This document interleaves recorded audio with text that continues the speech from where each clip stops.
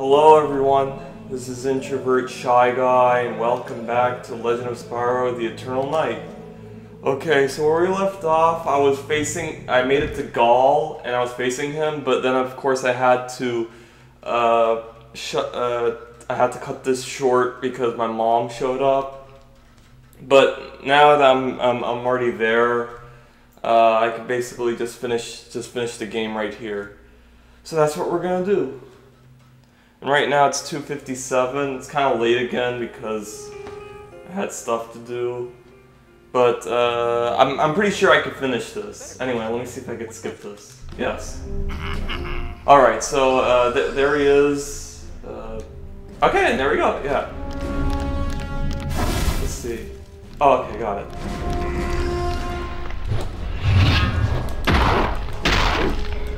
There we go. Oh shit, fuck.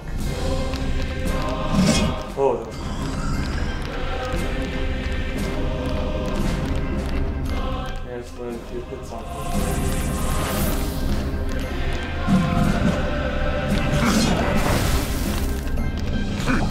Oh shit.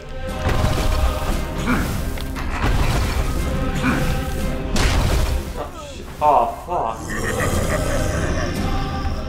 Sorry, I, I just woke up, so that's kind of what happened. And this is a one-hit kill, wow. I mean, okay, come on, come on, come on. Was much better when I started before. Okay.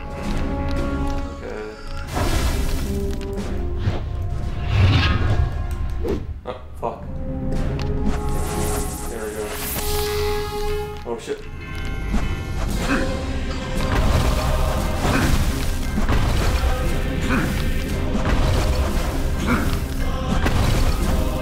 Oh shit. Thought he was done.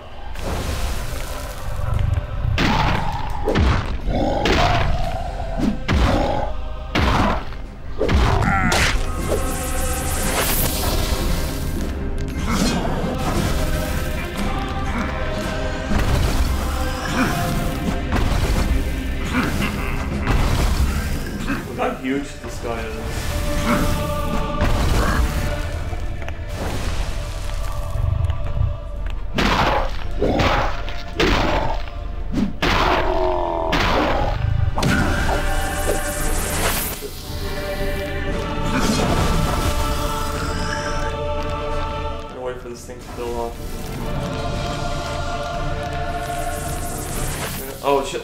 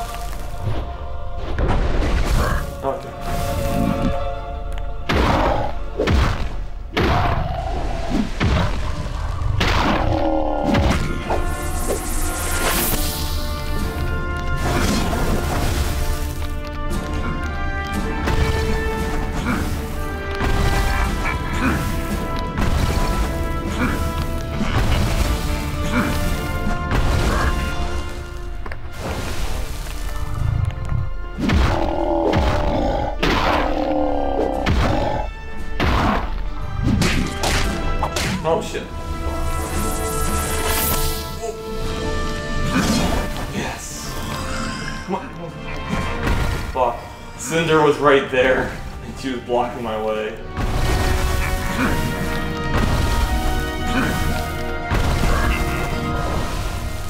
Come on, almost there, almost there. There we go. Your time is over, dragon. Now watch this. It's pretty cool.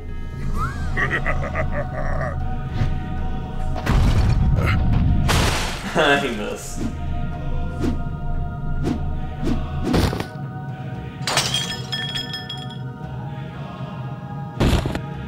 What? He passed out just from that?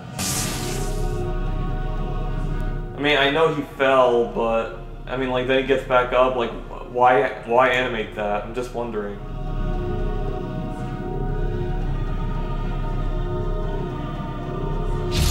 Watch this.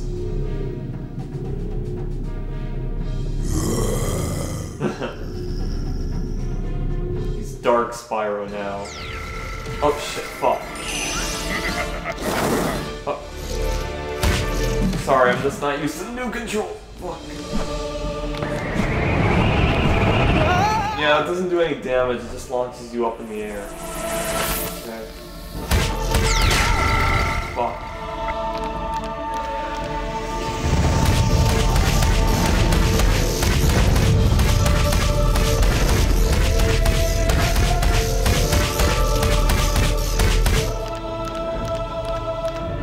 Let's see if I can beat this guy with this low health. Probably not, but I don't know, it'd be pretty cool.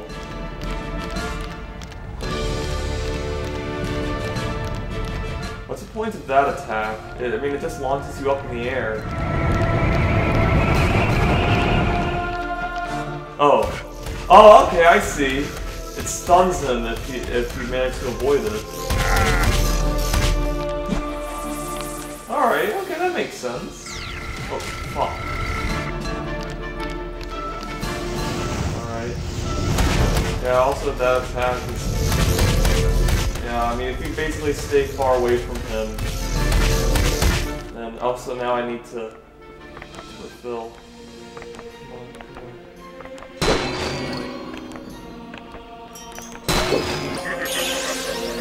There we go. Oh shit.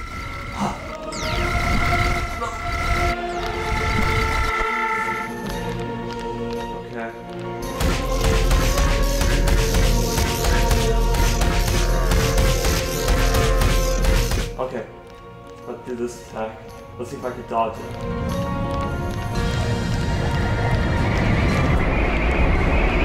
Oh shit. Oh. Oh, di oh I did it! Awesome. Okay, let's see if I can kill him on the spot. Oh shit. Oh fuck! Oh, I wasn't even. Damn it! Fuck! And he was this close to dying. Oh shit! Do I have to start all over? Oh god damn it. Whatever.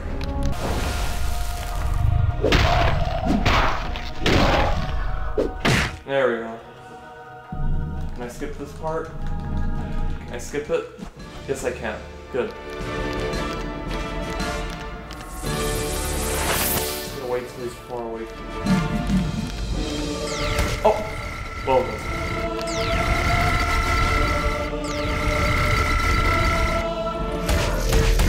yeah, apparently you don't need to jump. You just gotta, like, know where it's coming from. And I'm full health. Okay. Oh, shit. Whoa. Ha! you missed. Fuck! This camera. I'm, I'm unable to tell where it's coming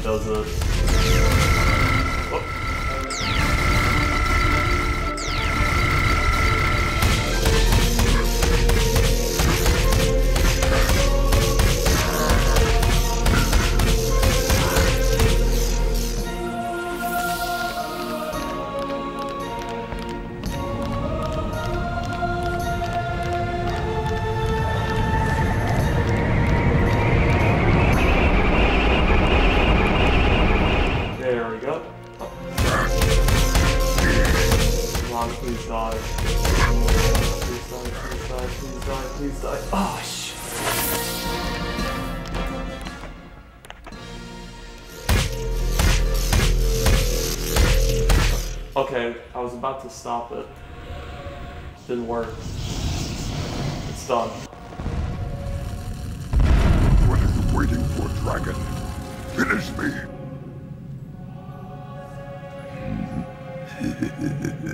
Coward!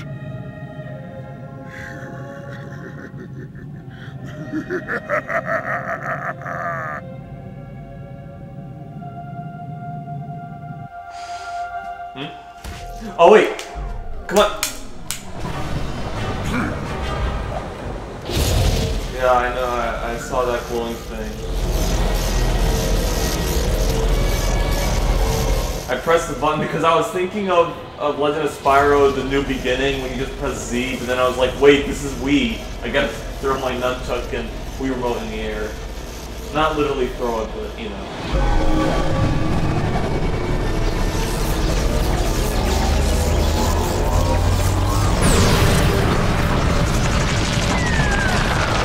Wow.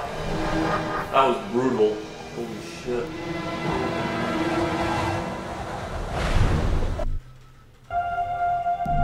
Look at this.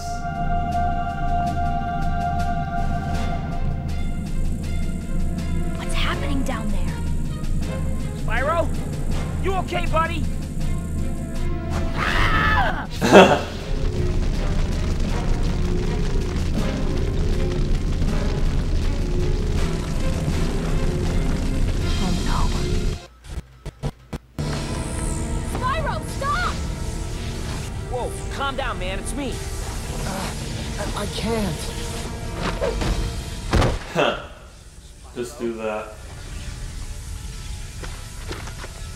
What have I done?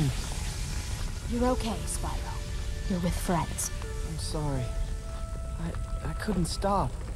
Uh-oh, that's our only way out.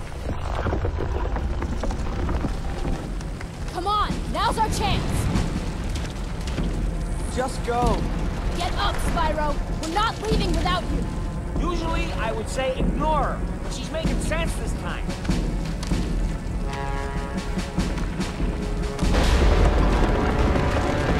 Oh no. We're trapped.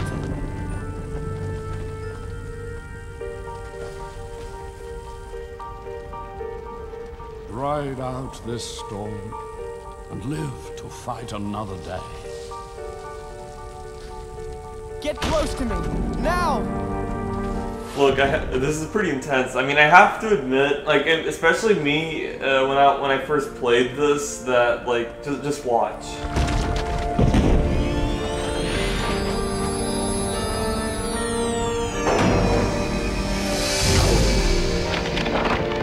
Basically, just sealing yourself until, like, you know, for just generations until you could actually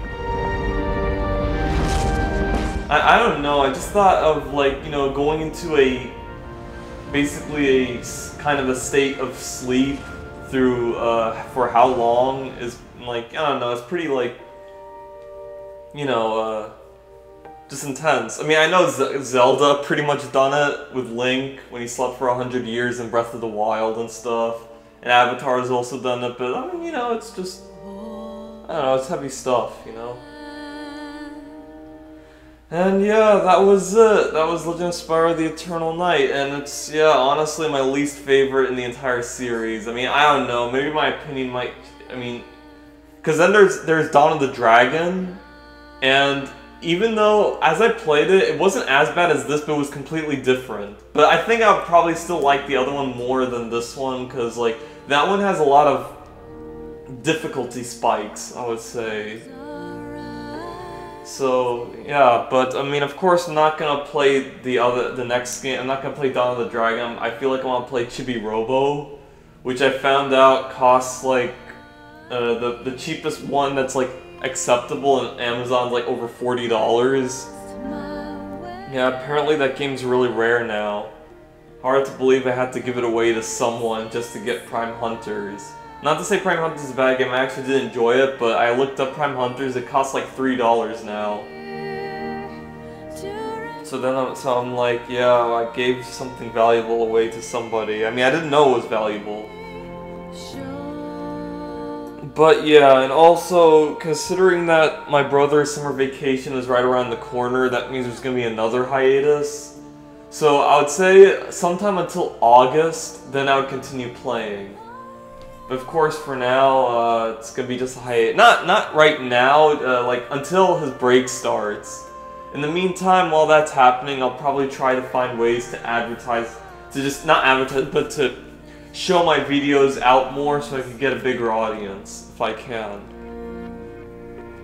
So yeah. Uh, also, I was thinking, you, you know how I said that I wasn't gonna stop immediately? I'm gonna do a few vlog videos on certain games I just I play just randomly and stuff.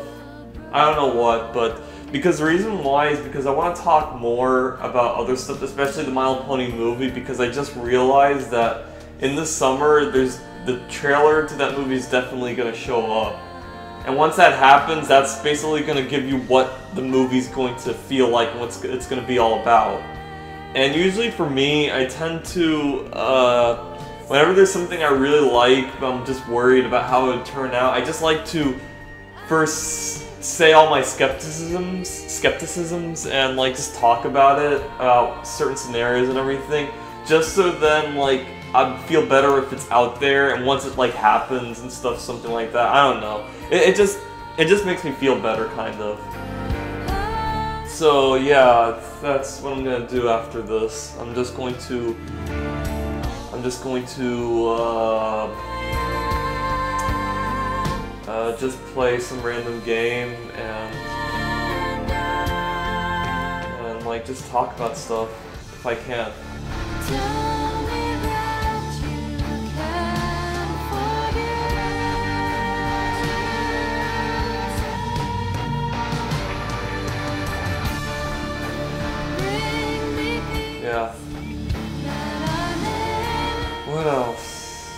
Yeah, uh, I mean.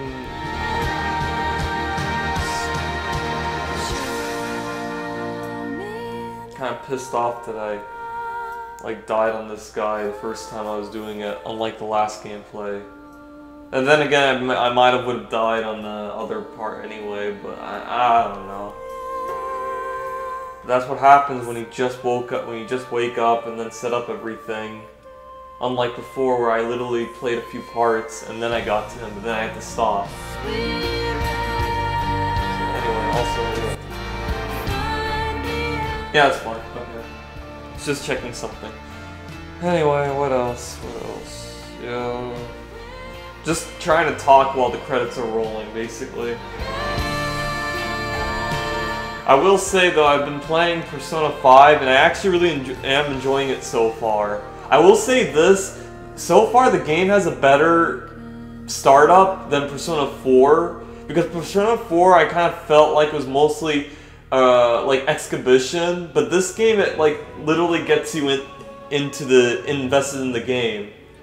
Because before I was kind of because the last game I was kind of it was kind of tedious and stuff, but Persona 5 it really gets it down, you know. So I'd say so far for for Persona 5 it has a great startup, but I don't know I don't know else about later. So I, that's all I'm just gonna put. I'm just gonna say it has a better beginning than Persona 4.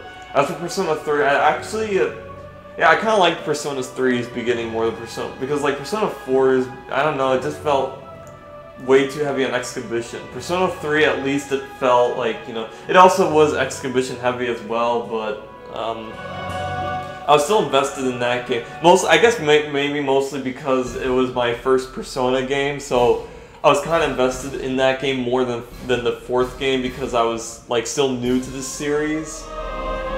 So then when the four, when I was playing the fourth game, I was like, I already know like stuff about shadows and everything, and, or what didn't talk about shadows. I mean, like I just wanted to get into the juicy parts ahead. You know, that's that kind of thing. So I'm trying to say is that Persona 5 kind of did better on that part so far. Still trying, still going through it, and I mean, so far it's pretty good. I have to say. I hope it's good. Like, you know, I think it is. Welcome to the world. What the fuck is. Oh, it's just a song. Special thanks to Ross Simons. What does he do? Yeah, so basically after this game is, is Dawn of the Dragon, it's completely different compared to this game. It's by a different team and stuff, which is, honestly, it's understandable considering how copy-pasted this game is. There were only There's only two original boss fights in this entire game. Everything else, like I said, is copy-paste, so I honestly understand them going for a new team and stuff, even though if it's completely different. Though to be honest, even the la the uh, the next game kind of has fewer boss battles compared to this. We went from copy paste boss battles to just like very few boss battles, and in the back of the box it literally literally says, you know, battle like bosses and stuff. When honestly there was only there were only two uh, like bosses and one final boss, and the other boss is kind of a not like a boss you'd expect. It's like it's kind of like a Shadow of Colossus kind of thingy. But though you don't climb on it, it's just you know you hurt on weak points and stuff. Thank you for playing Legend of Spyro: The Eternal Night. Oh, you're welcome. Yeah, it was a, it was an all right game. Not not the best. Definitely not as good as the first game, but yeah, they it was all right. I liked it. A few stuff in there that bothered me, but once you get over it, you know, you get over it, so. Yeah. I'll watch this.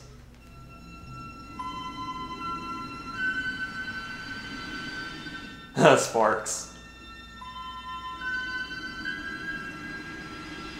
And that's Cynder.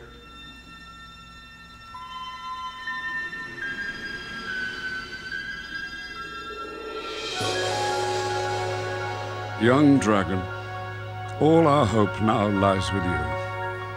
When you wake up, it will be a different world. But know this you are not alone. You have allies. It's Hunter.